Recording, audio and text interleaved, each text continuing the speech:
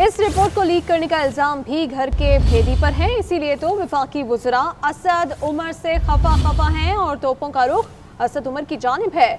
Report के मंदरजात और leak करने की कहानी पर देखिए ये रिपोर्ट।